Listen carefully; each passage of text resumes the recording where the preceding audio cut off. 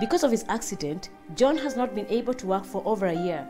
No work means no money. So plans for his shamba have been put on hold. So, John, what do you want done to the cowshed? To be calculated. Concrete? Yes. Okay, you want clean mm. cows, so we put concrete for you. We make some kind of a small trench Yes. so that the slurry can go to the farm. To this. Do they catch any disease? You know me. Pneumonia? Pneumonia. Yes. You didn't know cows get pneumonia. No, I'm I sure of did, that. I oh, did, Yeah. I Good. did. Now, now you've had it. yeah. we make what? We get them some jackets.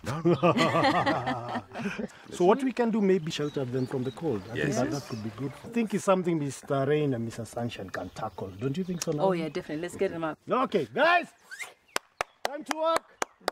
Look at them run. Now, guys, what we need to do here, we have to put in some concrete, mm-hmm. right? The shade Just down some. here. Mm-hmm. Then make a trench to make sure the slurry goes straight to the farm.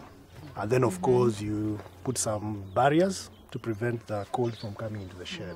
right? And the roof. And the roof too. The roofing has to be perfect. It should look good. Then you come back and see how you're getting on.